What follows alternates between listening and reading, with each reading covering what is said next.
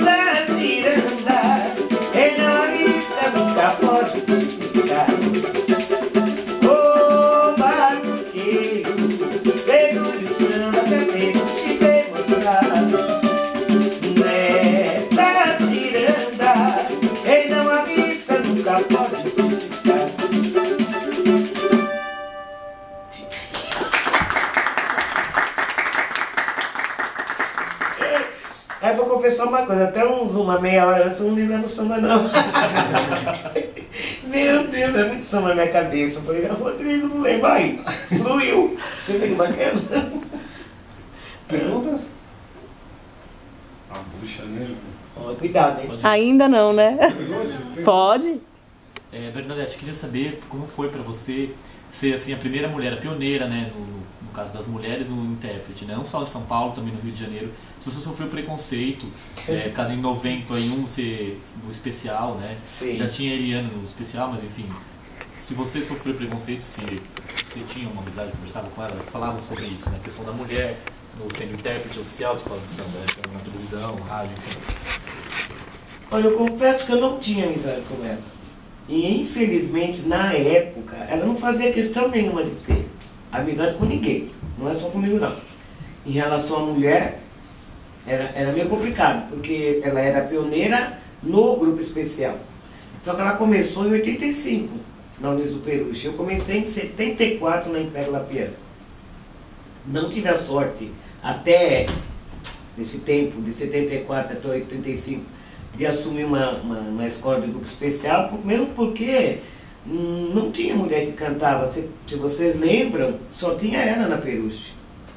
Infelizmente, até para as outras, não, ninguém teve oportunidade. Aí depois veio a Marcinaiana Nenê, né? Mas assim, a gente sofreu preconceito, literalmente, porque em relação aos cantores, os intérpretes, né, puxadores na época que falavam, né, que o Jamelão mudou essa nomenclatura, uh, eles tinham plena convicção que só homem cantava. Eles tinham e tem, até hoje, já visto que hoje não tem nenhuma mulher cantando no grupo especial, nenhuma oficial. Tem lá, fazendo parte do time de canto, como eu hoje faço parte do time de canto. Mas, infelizmente, para nós, é, é, esse preconceito existe até hoje. Não mudou. Naquele tempo ainda, como era desconhecido de todos o que era um carnaval, aqui dentro de São Paulo, uh, eles até deixaram, né, a gente cantar. Eu costumo dizer assim, eles deixaram. A Eliana foi intérprete da, da, da Unisu Peruche de 85 até 91, depois ela assumiu a, a Leandro, eu aí fiquei no lugar dela, eu assumi o Barroca como intérprete oficial também, a Império de Casa Verde, sua primeira intérprete da Império de Casa Verde, de 95 até 2000, e hoje não se tem mais esse, essa oportunidade. Então eu, eu, eu quero dizer que e quero crer que o preconceito ainda existe. Infelizmente, porque nós já provamos por A mais B que nós somos capazes e competentes. A Eliana, eu, a Márcia, a, a Vaninha lá do, do São Lucas, né? E como essas meninas, que eu, que eu falo menina, porque eu sou bem mais velha, mais velha que elas, que estão hoje né, cantando na, na, na, nas alas musicais, a, a gente está como apoio, mas sem oportunidade de ir para um grupo especial. Eu, particularmente eu, né? Porque é, tudo acontece quando você vai envelhecendo, né? Aí já fala que tá velha, não dá mais. As meninas, porque é, é, já tem lá os seus intérpretes fixos e tal, e ninguém vai abrir mão disso. Infelizmente, quem está, está.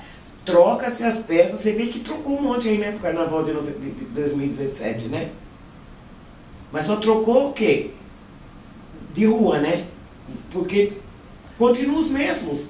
Não tem nenhuma novidade. Não tem nenhuma novidade, infelizmente. Então, eh, infelizmente para nós, houve e haverá sempre preconceito por a gente ser mulher cantando. Por mais que a gente demonstre a capacidade, a competência, eu mais do que nunca. Quando eu estreiei a Peruche cantando lá no primeiro ano, em 91, todo mundo achava que era Helena de Lima vindo numa cadeira de roda que ela falou, que ela, ela ia cantar de qualquer jeito. Então, assim, eles acham que o meu timbre de voz é igual a dela, nada a ver. O meu é bem contralto, o meu é bem. Né, e o dela é bem agudo. Mas todos achavam que era ela vindo com uma cadeira de roda, até que me vissem passar no carro. Aí desmanchava aquilo e todo mundo ficava surpreso. Da onde veio essa menina? Da onde veio? Ninguém sabia da minha história. Mas eu fiquei três anos lá. É, é, De, de 91, eu, não- eu cantei no lugar dela, ela tinha gravado. 92, 93 eu fui oficial. De 94 já trouxeram o jamelão. Então, não, não tem jeito, a gente só fica, eu costumo dizer, pra, eu, eu co- conversando com todas, até com a Eliana hoje, que a Eliana não canta mais em escola de samba, só tem a carreira dela paralela, que a gente não tem vergonha na cara, né? Vai para a escola de samba porque gosta. Eu gosto do que eu faço, eu amo cantar samba enredo. Esse desafio para mim é, é- é gratificante. Mas assim, por tudo que a gente passou, todas, era para mulher estar mais lá dentro de uma escola de samba, pelo menos não cantando, né? Mas quem sabe, né? A única coisa que eu sei para mim, assim, que essa história que eu vivi, ninguém mais vai viver. Não tem uma que não tem mulher mais cantando para engravidar e ter neném no dia, né? Então, eu fui a única que viveu essa situação, a não ser que aconteça de novo, sei lá. para Deus não é impossível, né? Bernadette, esse período que você teve na Peruche, teve alguns personagens que marcaram época e tem a sua história no contexto samba. Geral do filme, Talismã, como é que você vivenciou isso ao lado desses mestres? Olha, foi, foi bem, foi bem legal. Eu estou para dizer para você que, com, eh, com o Talismã, eu tive a grande honra, o prazer de estar com ele no Camisa Verde e Branco. Só que até então, eu só estava na Império Piano, né? 86, 87. Eu estava na Império Piano. É o ano que eh, eu tinha um grupo, cantava num grupo de samba que meu irmão montou, chamado Grupo Sexta-feira. E a gente rodava por aí, festivais, essas coisas todas, e eu, a gente foi parar lá, no Camisa Verde, num desses eventos, né, de festivais. A Camisa fazia muito isso. E eu tava lá cantando, e tinha aquele senhor do cabelo branquinho, com violão lá do lado, sentado, me olhando, me analisando, e eu não tinha ideia de quem era ele, porque eu, dentro da Império Piano, eu não tinha esse hábito de ir para dentro das escolas de samba, seja ela qual fosse, para mim, até para eu conhecer as pessoas, as pessoas me conheceram, não, não ia. Eu não, não me importava muito com isso, eu não achava que era necessário. E com a, a- o grupo do meu irmão, eu acabei indo lá para dentro do Camisa Verde Branco. Eu estou cantando uma música da Beth Carvalho, bem crua, né? Tudo, tudo era começo, ruim pra burro eu achava na época. Eu não tinha o tom da música, eu entrei em qualquer nota. Cantei. Quando eu desci do palco, ele veio até mim e falou assim, Bernadette, essa música você canta em mim. Eu falei, meu Deus do céu, quem é esse homem? Falei, ah, obrigado, é esse o tom da música? Ele falou, é esse o tom da música. Depois eu perguntei, quem é esse senhor? Não pode. Isso é o talismã. Ah, meu Deus. E acho que a música era até dele. Mas eu acho que depois que antes que ele falou que era para cantar, né? Porque ele- a Beth Carvalho gravava muito ele, né? Eu acredito que isso. E o, o geral do filme, na minha vida sempre tem Eliana. Já no filme foi assim. Tinha um- uma festa enorme no AMB. Então eram dois espaços do AMB. Um lá dentro do Teatro Elis Regina e outro na concentração. O Geraldo Filme entrou em contato comigo através da Unis do Peruche para que eu fizesse na concentração o show juntamente com o Jadir, que cantava no Tom Maior, para mim era o intérprete, né? Aí tudo bem, fui lá, fiz o ensaio com o Jadir e a gente ia cantar refrões do Samba de Enredos, né? Fizemos lá uma junção de vários e, e fomos lá para ensaiar. Ensaiamos. Voltei para minha casa para me trocar e voltar, porque era bem tarde da noite e o, e o ensaio